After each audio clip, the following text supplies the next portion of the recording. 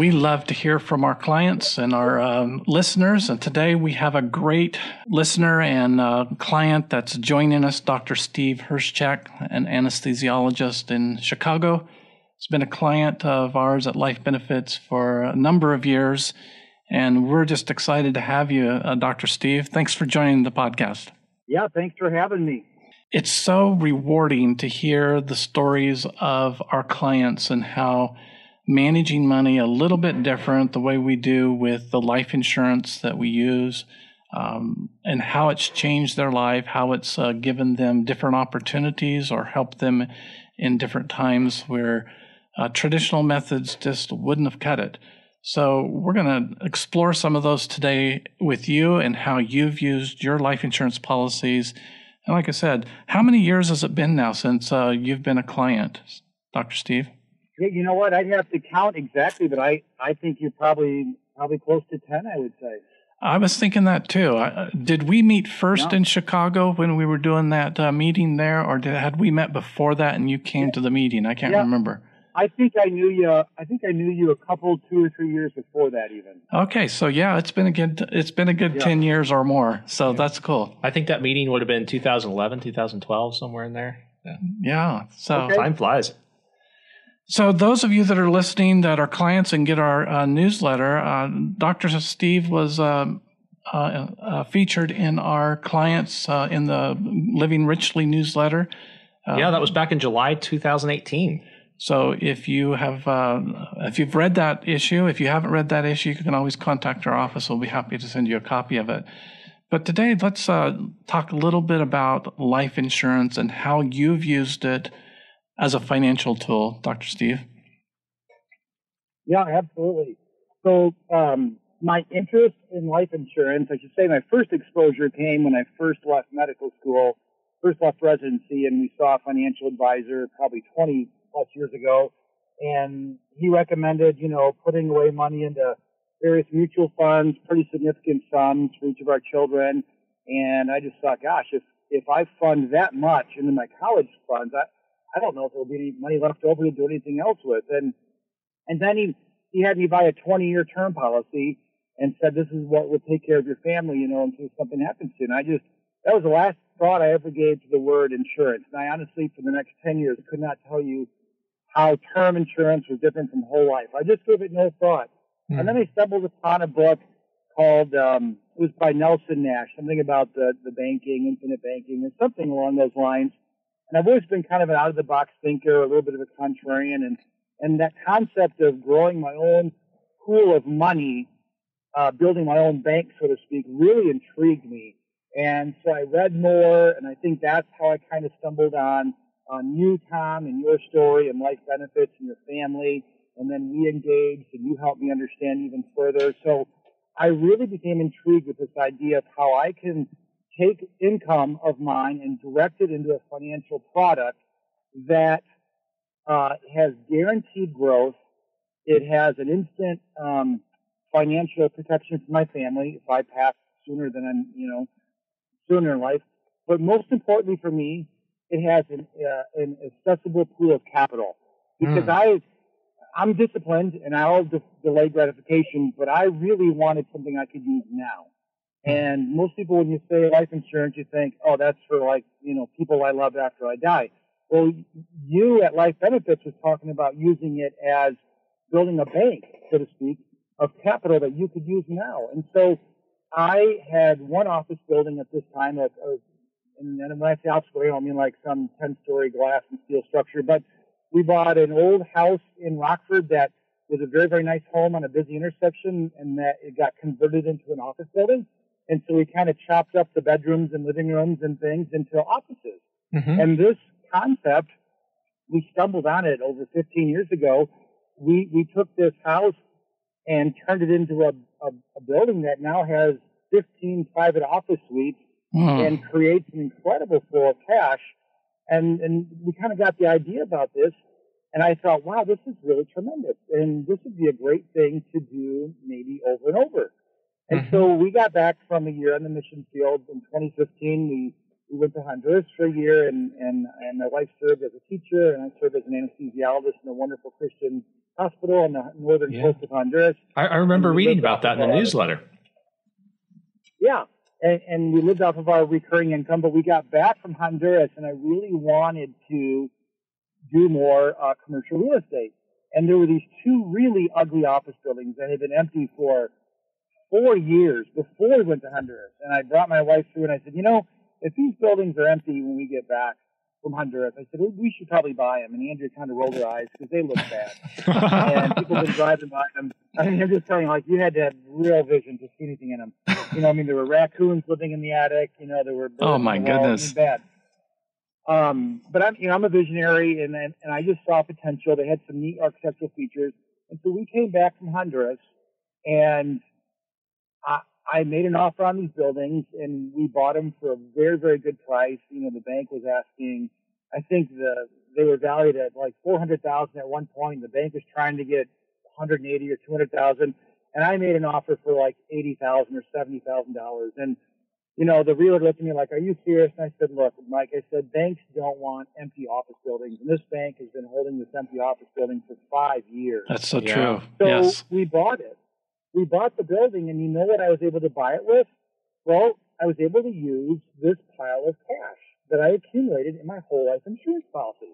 cool. Hmm. And this is what, when the light really came on for me, is wow, like this is what I can use whole life insurance for. Like I like hands-on investing, and not everybody does, um, but I really like hands-on investing. I like buying distressed properties because I can put uh, my love into them and TLC and to a team of people build them back. And so we bought these two old buildings and we fixed them up. And I think there's a picture of the before and after in, our, in the newsletter you guys Yes. did back in 2018. And you know these buildings have been full now for three or four years, and I think they create Hmm. four or five thousand dollars a month of cash flow. That's You know, cool. and I did this, and so I bought them with my whole life policy, Mhm. and then we rehabbed them with cash that we had in the whole life policy.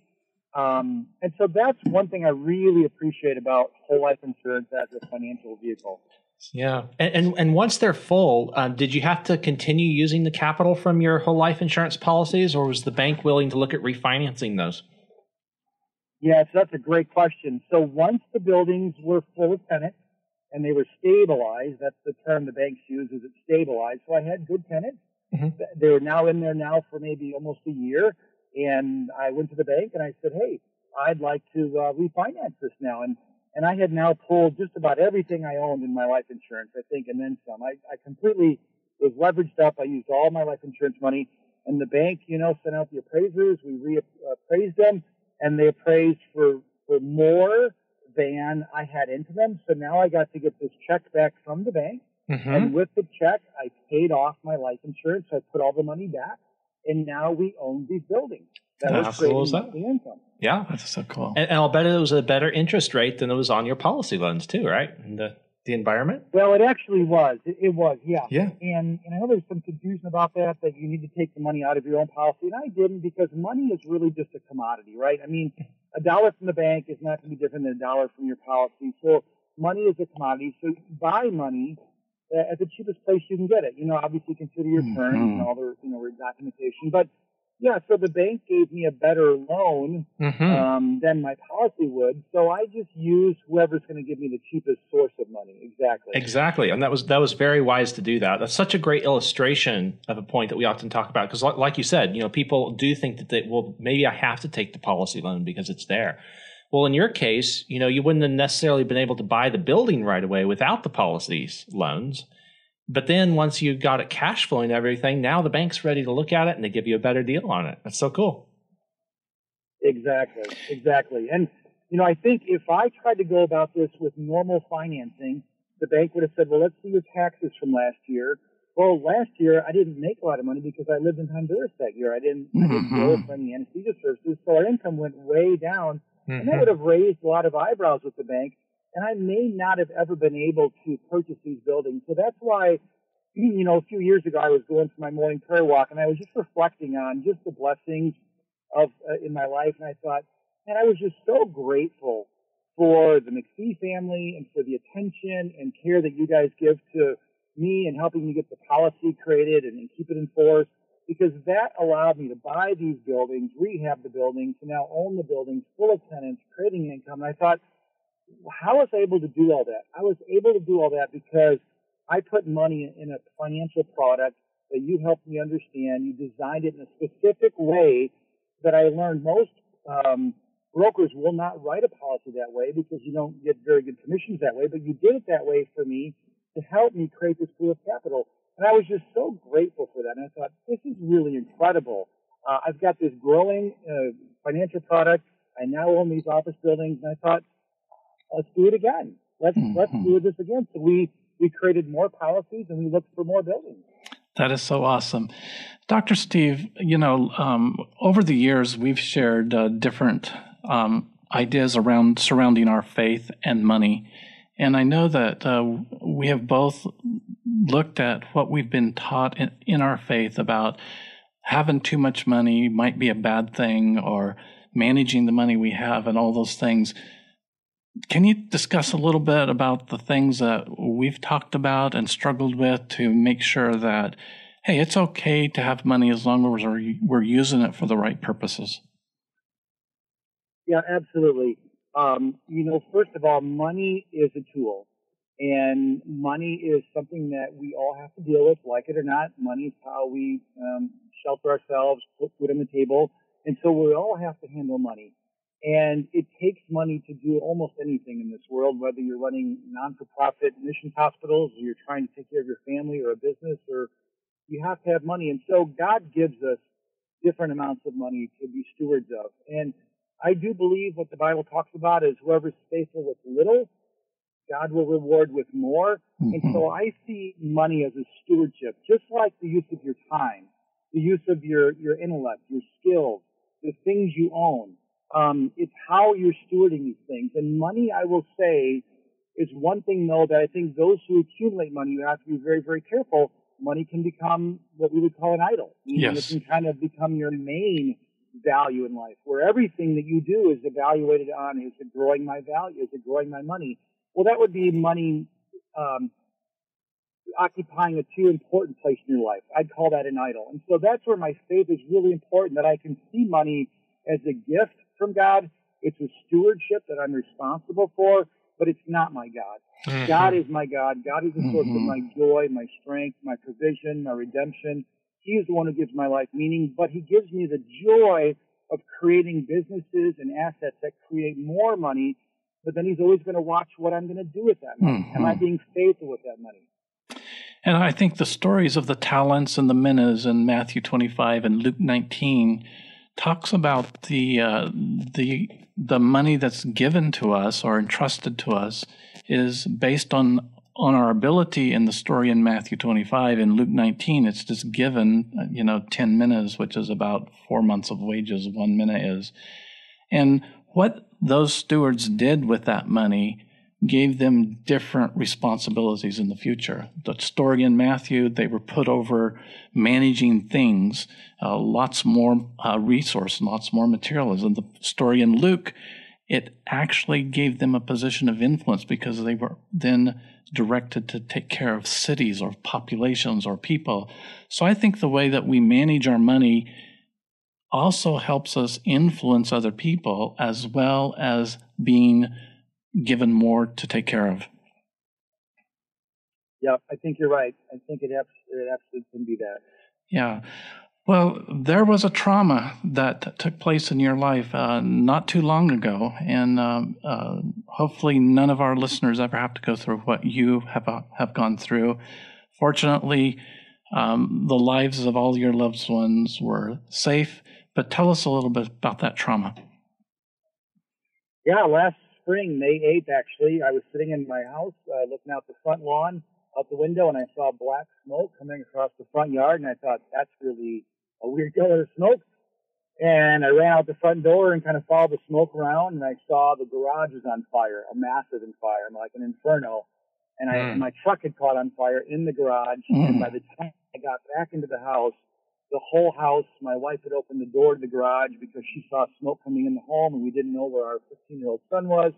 And so she thought, oh my gosh, there's Sam in the garage. So she opened the door and fire just engulfed the home within probably 30 to 60 seconds. Oh, The home was full of smoke and heat and fire, and we didn't have much time to get out. But fortunately, by the grace of God, I didn't lose any children or anybody got nobody got hurt. Seriously, you know, we lost all of our material possessions. That you know, two of my kids ran out without shoes. But um, you know, the house burned down, and these are the storms of life that are going to come to everybody, and, and they do come. And some people have had much harder years than we've had. Um, but you know what? God is faithful through the trials. He says He will be with us in the storms of life. He doesn't necessarily shield us from the storms of life, but He's with us in the storms. And so the Hryszczuk family got to be on the receiving end of incredible generosity from so many, many people. And it was one of the most humbling experiences that we've ever gone through in our lives. People gave generously to us in ways that it was truly, truly humbling. And I, I hope nobody has to experience what we did, but I'll tell you what, um, wow, we just saw just the goodness of the church, the local church, and our neighbors and people who just really came out and helped us. That is just incredible story. And how did your life insurance policies uh, affect any of that? Did were they something that um, played a role in that at all, or, or did You you? know what, Tom? They they absolutely can. Right now, all my life insurance dollars just about are spoken because we've continued to buy old office buildings, and we bought five really rundown buildings two years ago, and they're almost they're about 80% rented and about 95% rehab, and I'm just about at that point now where we are ready to do it again, and we're gonna call the banker over and walk through it and get an appraisal, and I hope that they'll all appraise for above and beyond what we put into them, and I'll be able to put that money back into our policies. And what would be wonderful, Tom, is we are going to be short some money to finish our house uh, Mhm. because of the lumber prices and things. This past year was absolutely crazy, so our house went way over um, Yeah. policy limits. Um, and so um, we're I'm, what I would like to be able to do is get this capital back there, and as you just said, use it as a source of money to help us finish building our house. yes. Cool. All right. That that's neat. That's neat. So obviously, you know, with the house and everything, that's that's amazing how the the Lord was guiding you through during that process. Uh, that sounds like horrible, something horrible. I hope no one ever has to go through it. That's listening to this. But it, it's nice that um, it didn't completely devastate all areas of your life because you had you had reserves, you had things going in other places as well. Oh, that's absolutely right. I tell you, um, even little things. I went to the I went to work the next day, opened my locker, and I thought, "Wow, I have a pair of prods and my water bottles here."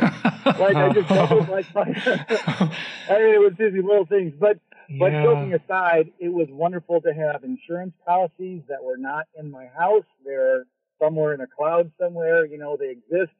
My buildings existed. Like all these things kept going. You know, my grandma was a refugee from World War II, and she used to point her head and say, "Stephen, what you have up here, no one can take from you because the communists chased her out of uh, Poland in World War II, and she realized the only thing you can keep with you ultimately is, you know, what is what you know in your brain." And so you're right. You, you don't lose everything when all your physical things are gone. Yeah, and, and I'm so glad your family was safe throughout the process. 'cause That's that is that is wonderful. So a couple of years ago, Michelle and I were um, allowed to enter Cuba and walk the streets of communist Cuba. And I was appalled at what is not available in the grocery stores.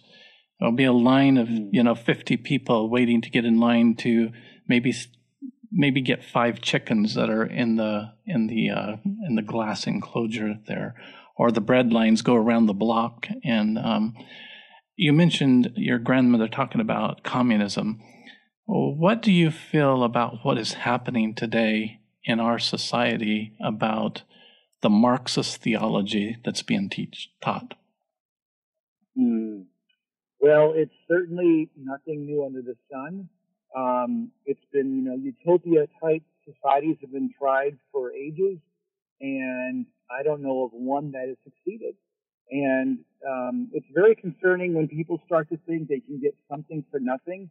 And unfortunately, our government, I think, um, strengthens that belief by just sending money into our checking accounts that comes from just digits on a computer that somehow you can create money in thin air that sends a very, very dangerous message to people. You know, value is created when you serve people, when you think, mm-hmm. when you work hard, when you take risks. That's how you make society better in one way and, and you create value. Um, and so these utopian societies, when you look at North Korea and you look at Cuba, you look at Venezuela, I just don't know how people can be so easily deceived to think that, you know, we can create these things and we can make it work this time. Mm-hmm. Well, that's really, really true, and and I think that um, everyone listening today, uh, if this is the take-home message that you take home from this uh, this interview with Dr. Hryszczuk, is that he saved, he put aside a percentage of what he was earning for many years, so that he had the opportunity to take advantage of these buildings that he is rehabbing that he would have the advantage of having resources to finish building his house, that he had the resources to take a sabbatical and go to serve on the mission field. If we don't take the time to set apart part of what God has given us in a place that's guaranteed to grow and be there for us when opportunity knocks, then opportunity is never going to knock. Mm-hmm. And we can't expect someone right. else to take care of us. Yeah, that's true. That's right. Hey, hey, I have a question for you. Going back to your real estate um, investments yeah. for a little bit. A lot of people are excited about investing in real estate, and they think maybe they need to go pay a guru to take some course in real estate investing. And a lot of them, you know, we see them take these courses, and then they never really end up doing anything with it. Um, in your mm-hmm. in your experience, you know, is that is that a wise step, or is there a way to learn about you know investing in some of the commercial real estate that you've done without taking all the guru courses that may or may not help? Yeah, great question. You know, in, investing in your education, I think, is almost always a good thing to do. Like I would, I would say, you know, put the money down, go to the seminar, buy the book, get the tape, listen to the podcast. Always good things to do, but but eventually you gotta you gotta put it into action. You know, mm-hmm. analysis paralysis. You can't just gather data forever. So eventually, you have to decide you know, what is my uh, investment vehicle going to be for real estate? Do you like the idea of a single family home? Do you like the idea of multi-family homes, like apartment buildings, duplexes? Do you like the idea of, of uh, like small commercial buildings, perhaps, or big commercial buildings? And through looking at all the different things available, I really, you know, I read uh, some great books years ago, Rich Dad, Poor Dad, Cash Flow Quadrant, some of Robert Kiyosaki stuff on real estate. Mm-hmm. Kind of understood how to make money work for me. Yeah. And I decided I was going to do this. And I had a little construction background. I used to be an electrician back in the day. So I'm familiar with a little bit of the building process. And I drifted to commercial properties. It just seemed to, I just liked the idea. I have friends, dear friends, who buy residential homes and they make a wonderful ROI. Mm-hmm. And other people do multifamily. So I would say start small, but buy something. Put your, get in the game, put your money, get some skin in the game, but start small because you're going to make mistakes and mistakes are okay. That's how you learn. So just make the mistakes smaller, make them controllable. But I would say if you want to learn the most about if investment real estate can work for you, do your reading because you got to pay the price. There's sure. knowledge you have to gain in anything you do. So pay the price, you know, go to the course, read the book, but then eventually pull the trigger and buy something. Because once you buy something, the whole thing goes up another level and you engage in it another level. Yeah, then, totally oh my gosh, don't worry about the emotions that come the night before you close. I felt physically sick. I, I, so I, we found this old building and I talked my wife into like buying it. And, and I went out, we went to Applebee's, we got this little corner booth. I remember our kids were little. And I'm like, I think we should buy this. I added up all the rents. I said, here's what the rents are going to be if all the tenants stay. And here's what our mortgage will be. And here's what the taxes will be. And here's what the utilities will be. And, and you know, I, I did my best job to sell my wife on something I knew nothing about. But, you know, we went with it. But I'll tell you what, the night before we were going to close, I felt physically sick. I thought, what am I doing? I thought, oh my gosh, what am I doing? And by the way, I couldn't get a loan. I went to bank after bank and they turned me down. And they said, what do you know about commercial real estate? And of course, the answer is nothing. I read a few books. Well, my wife said, well, I guess this is, this is a closed door. I said, no, it's not a closed door. You know, Robert Kiyosaki says you have to keep going. There's more than one bank in town. I said, we're going to go to all of them. Mm. And so on my post call days, I'd get my suit on. I'd, you know, wipe the sleep out of my eyes from being in the hospital and I'd go knock on the doors of banks and I'd talk to them.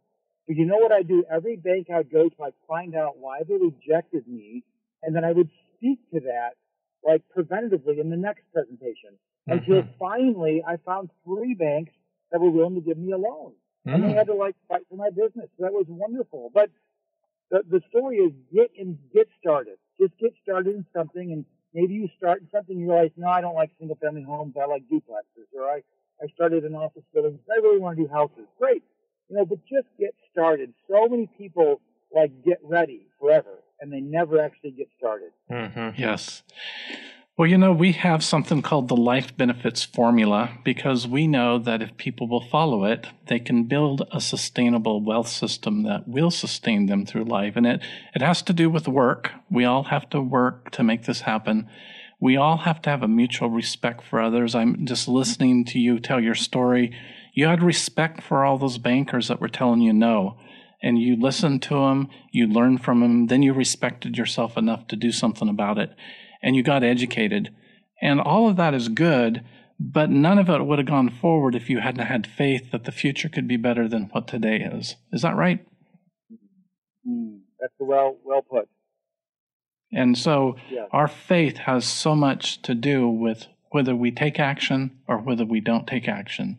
And so today, I hope that uh, having Dr. Steve Hryszczuk on has been an inspiration to you to realize that you got to work hard, you got to respect others, you got to respect yourself, you got to get the education, and you have to have faith that the future can be better than what we're experiencing today. That's right. You know, earlier you mentioned that you were you were grateful for the teaching that we've been able to provide, the policies that we designed for you. And you know what came to my mind as you were saying that? You know, we're serving our Creator.